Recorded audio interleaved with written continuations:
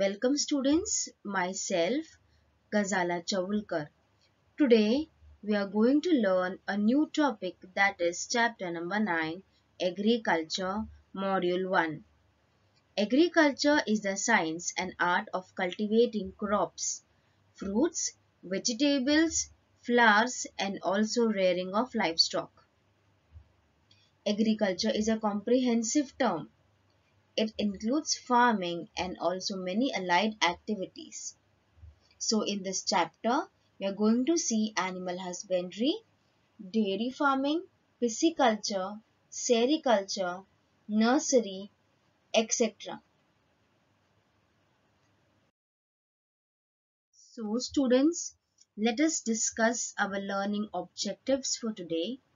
So today we are going to see introduction to agriculture, then animal husbandry, dairy farming, poultry farming, beekeeping, pisciculture, sericulture, nursery and greenhouse farming.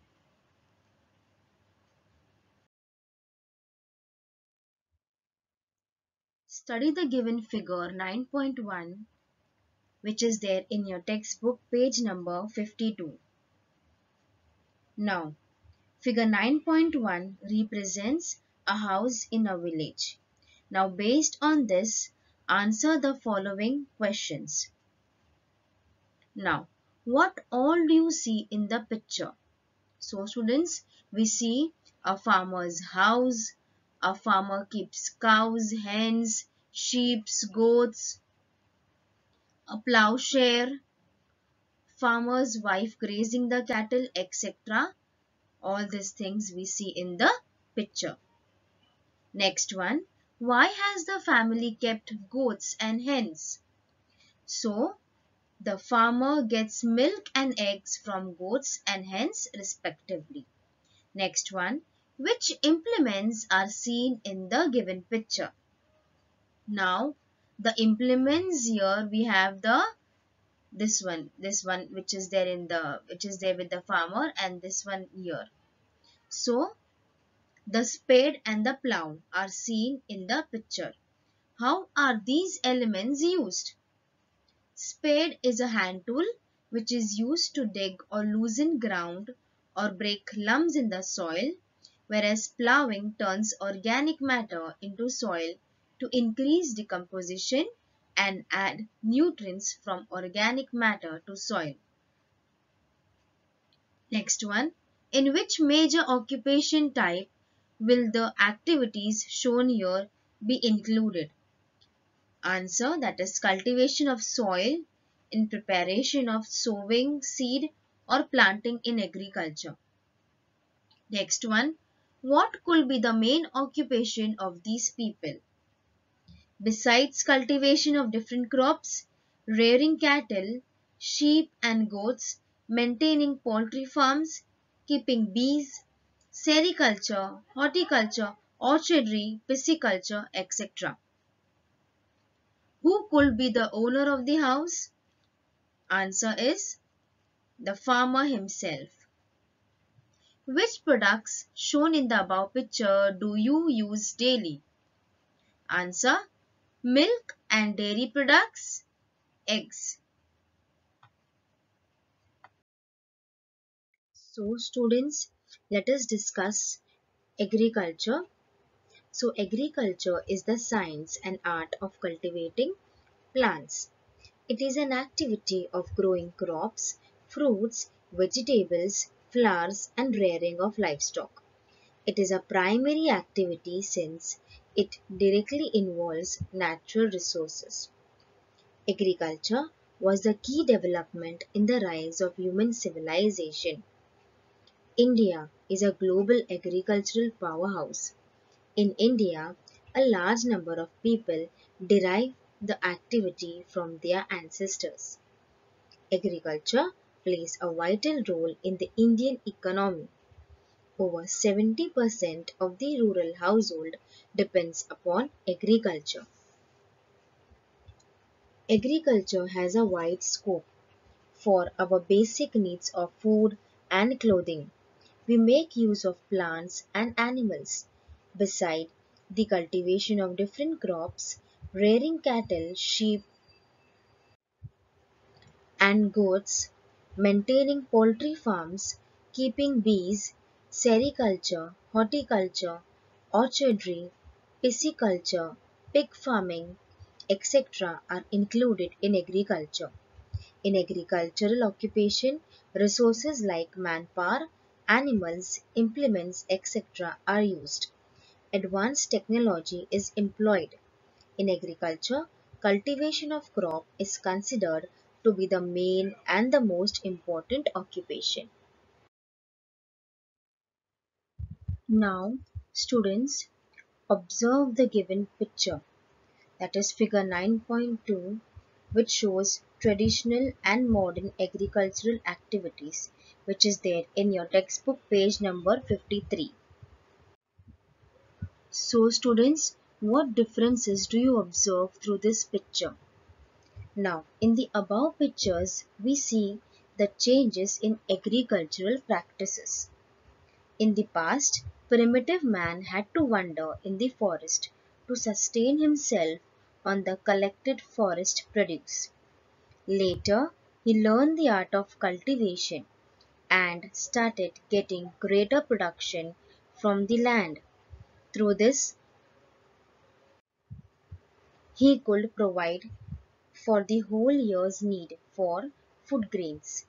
He also started obtaining a number of products through floriculture, horticulture, rearing animals, pisciculture, etc. He also used bullock carts and later used tractors to plow the field from surface irrigation. Next one, what changes have taken place in traditional agricultural practice? Abandoning nomadic life, he undertook different occupations related to agriculture at the same place. Man has moved to sprinkler irrigation which not only waters the crop but also saves lot of water. Keeping hens was a traditional occupation which later turned into a household occupations on a commercial basis.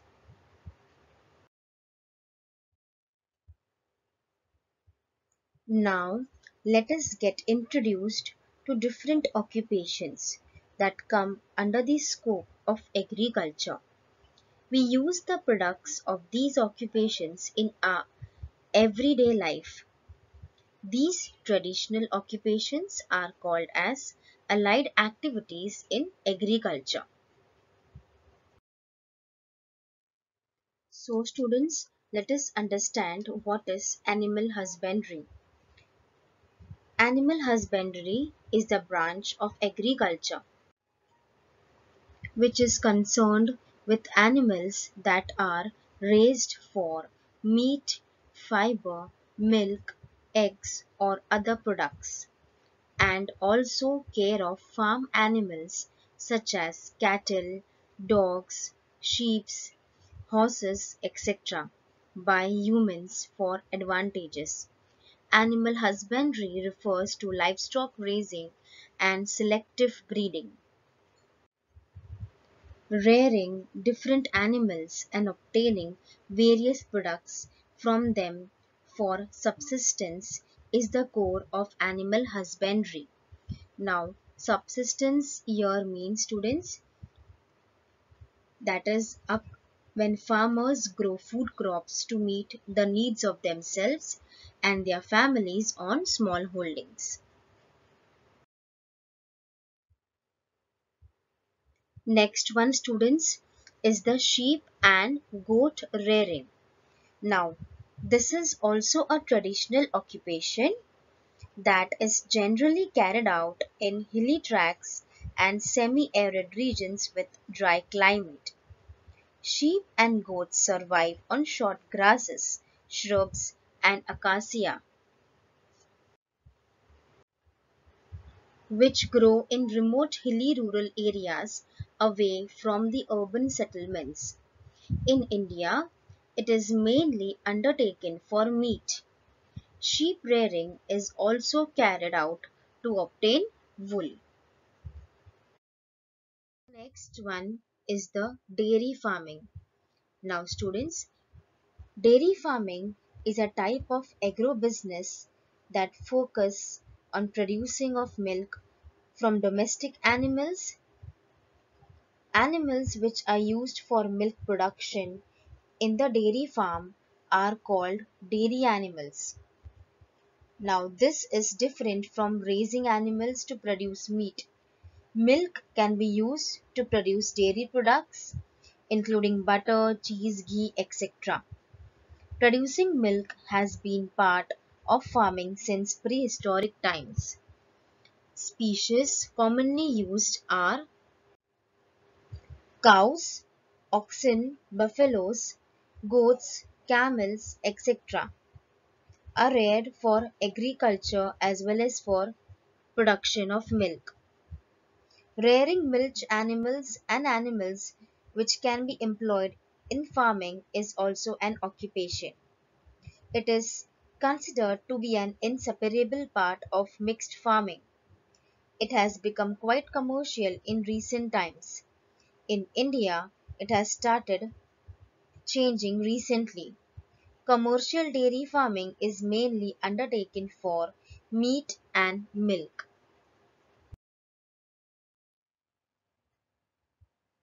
So next one is poultry farming.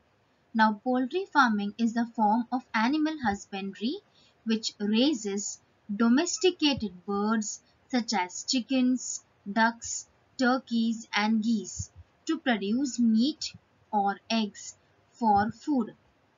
It has originated from the agricultural era. Poultry, that is mostly chickens, are farmed in great numbers. Keeping hens and other fowl is a common practice in all parts of the world. It is a traditional occupation.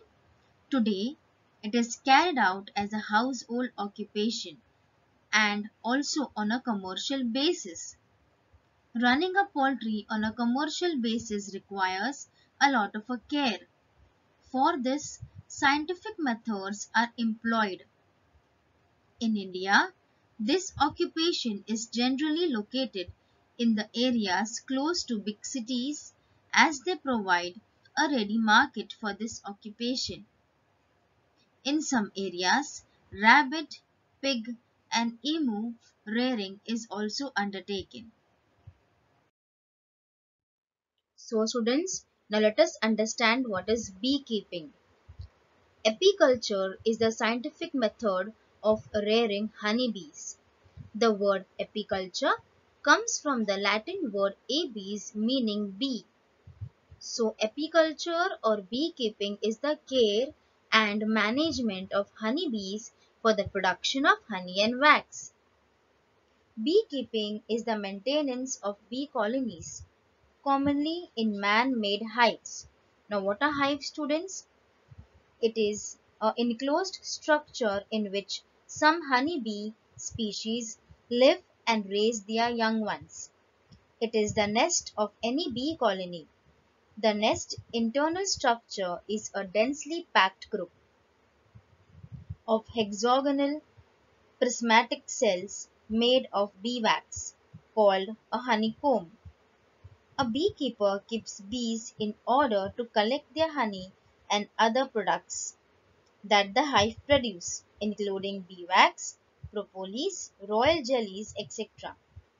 or to produce bees for sale to other beekeepers. A location where bees are kept is called an bee yard. Bees, in order to collect honey, hover around the plants that bear flowers. This promotes the process of pollination. Now what is pollination? It is the transfer of pollen from a male part of a plant to a female part of a plant, later enabling fertilization and the production of seeds. So as a result, the trees bear large number of fruits and the crop yield increases. Beekeeping is an important occupation with respect to agriculture. So now students let us understand what is pisciculture. The breeding of fishes on a large scale that is on a commercial basis for the production of fishes to sell in market is called the fish farming or the breeding, rearing and transplantation of fish by artificial method is called pisciculture. In other words, fish farming. It is a principal form of aquaculture. Farm ponds are dug out for this purpose. Water is stored in such ponds. Fish seeds are released in the ponds. For this, seeds of freshwater species are used. In order to achieve the best growth of fish, scientific methods are employed. Fishing in open seas has a number of risk factors. Different types of fish and other aquatic organisms get caught in the fishing nets. Separating them becomes a major task. All organisms do not fish the same price. All these factors led to the rearing of specific type of fish species separately. Pisciculture developed out of these efforts. For example, worm, roha, ravas that is Indian salmon, columbi that is prawns or shrimps etc. are reared in fish farms.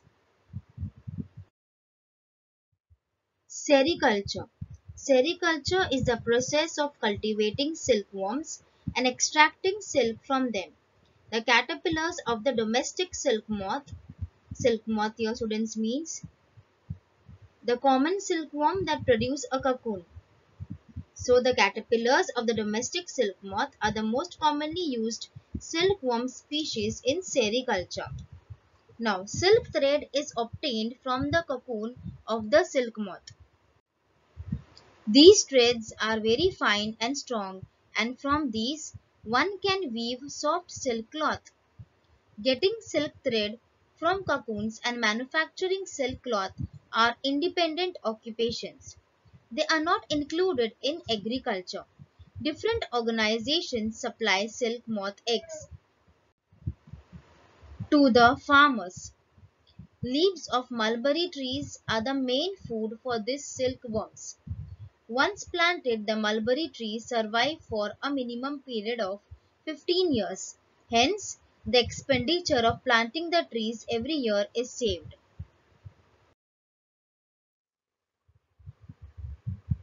Students, now let us understand what is a nursery. So, a nursery is a place where young trees or small plants are raised for transplanting, for sale or for experimental study. It's a place where plants are propagated and grown to a desired age. These include retail nurseries, sometimes wholesale nurseries and private nurseries also. Retail nurseries sell to general public whereas wholesale nurseries sell only to businessmen or other commercial gardens. Private nurseries which supply the needs of institutions or private estates. Nurseries may supply plants for gardens, agriculture, forestry and conservation biology. In the last few years, the area under floriculture, cultivation of medicinal and aromatic plants and horticulture has increased. These plantations require a high standard of seedlings, cuttings, bulbs and seeds. Now what are bulbs students? A bulb are rounded underground storage organ present in some plants, notably those of lily families, consisting of a short stem surrounded by fleshy scale leaves. This has led to the development of nurseries. Nurseries give good return. Greenhouse farming Greenhouse farming is a unique farm practice of growing crops within sheltered structures covered by a transparent or partially transparent material. The main purpose of greenhouse is to provide favorable growing conditions and to protect crops from unfavorable weather and various pests. Now this is a house constructed using sophisticated technology for the growing of vegetables and flowers. The walls and the roofs of this house are made up of transparent materials, mostly glass. Conditions conducive for the growth of plants are controlled under such structures. The temperature inside the greenhouse is considerably higher than the temperature outside during the day. With the help of various instruments, the temperature, relative humidity, air pressure, etc. are controlled in greenhouse. Greenhouse farming facilitates getting maximum product from the land. It can have a total control on natural factors like climate, heat, atmospheric moisture as well as soil moisture. It assists in getting maximum economic benefits. Greenhouse farming is highly specialized type of farming of the modern era. For erecting greenhouse, galvanized iron pipes and plastic sheets are used. Its main aim is to control the pest attack by controlling water, light and temperature. So students, let's have a quick recap of what we have learned today. Today, we learned about agriculture. So agriculture is the science and art of cultivating plants and livestock. Agriculture was the key development in the rise of human civilization. We also studied different occupations that come under the scope of agriculture. We use the products of these occupations in our day in our everyday life. These traditional occupations are called as allied activities in agriculture. So the first allied activities was animal husbandry. That is, it is the branch of agriculture concerned with animals that are raised for meat, fiber, milk, eggs or other products and also care of farm animals such as cattle, dogs, sheep, horses, etc. Next one was dairy farming which involves production of milk from domestic animals. Milk can be used to produce dairy products including cheese, butter, ghee, etc. Next one, poultry farming which is the form of animal husbandry which raises domesticated birds such as chicken, ducks, turkeys and geese to produce meat or eggs for food. Next one, beekeeping farming which involves the care and management of honeybees for the production of honey and wax. Next, pisciculture that is fish farming that is breeding of fishes on a large scale for the production of fishes to sell in the market is pisciculture or breeding, rearing and transplantation of fish by artificial method is pisciculture. Next one, sericulture. Sericulture is the process of cultivating silkworms and extracting silk from them. The caterpillars of the domestic silk moth are the most commonly used silkworm species in sericulture. Next one, nursery. We also studied about nursery. So students, nursery is a place where plants are propagated and grown to a desired age. Or it is a place where young trees or other plants are raised for transplanting or for sale or for experimental study. The last one is the greenhouse farming, which is a unique type of farm practice of growing crops within sheltered structure covered by a transparent material. The main purpose of greenhouse is to provide favorable growing conditions and to protect crops from unfavorable weather and various pests.